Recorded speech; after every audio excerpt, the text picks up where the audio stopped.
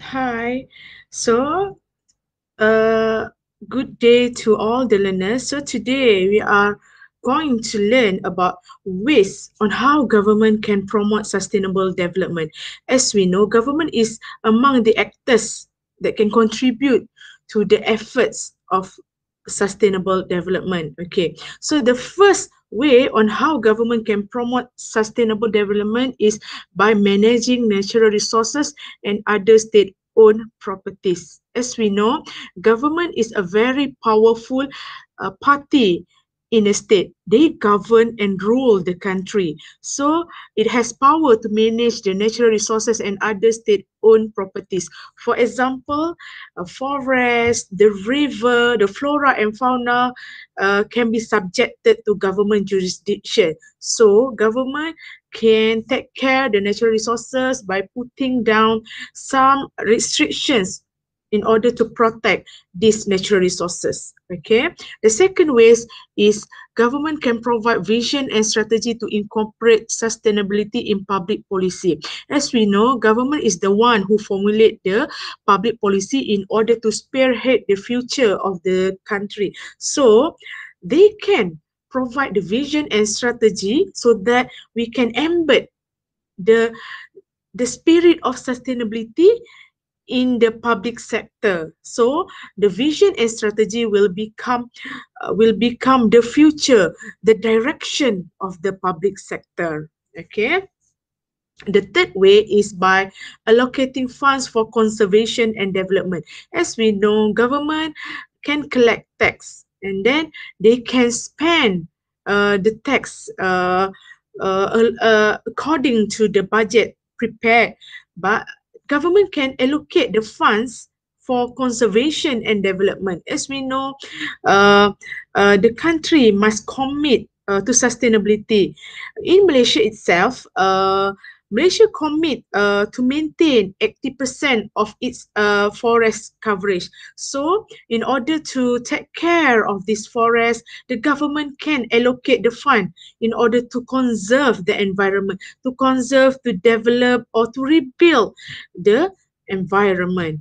The fourth way is by redistributing resources between groups in society. As we know, smart consumption, sustainability consumption is very important because the population is growing more and more years by years. So it is the government role to redistribute resources uh, among the societies. So if the society, uh, the government must allocate uh, the resources according to the needs to the society.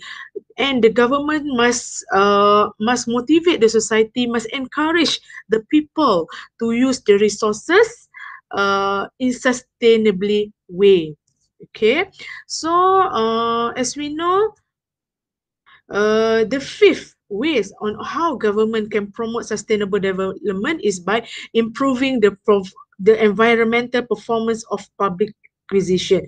So as we know, government is uh, can have can can intervene in public acquisition. So it can improve the environmental performance in public acquisitions.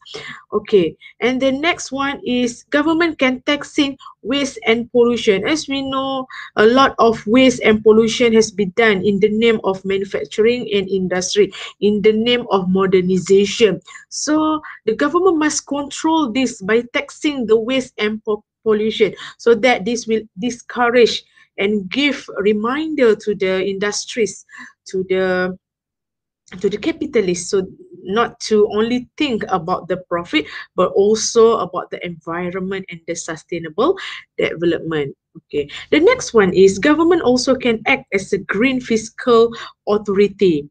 All right so it has power Okay, in Malaysia itself, we have Department of Environment. So this uh, this uh, department act as a green fiscal authority that monitor how uh, the performance of the environment and is there any any law broken? And then is there any violation to the environment?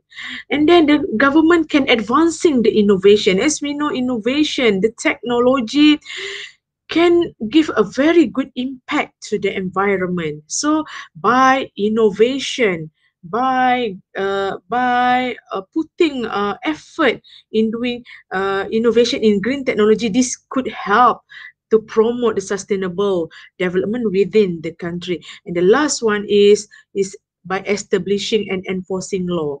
Law is the most effective way in order to protect the sustainable de- development. So, the law can be used in order to make sure that the country uh, lead its way to achieve sustainable development. So that is the how government can promote the sustainable development within its territory. Thank you, learners. I hope you enjoy and understand uh, the video. Thank you.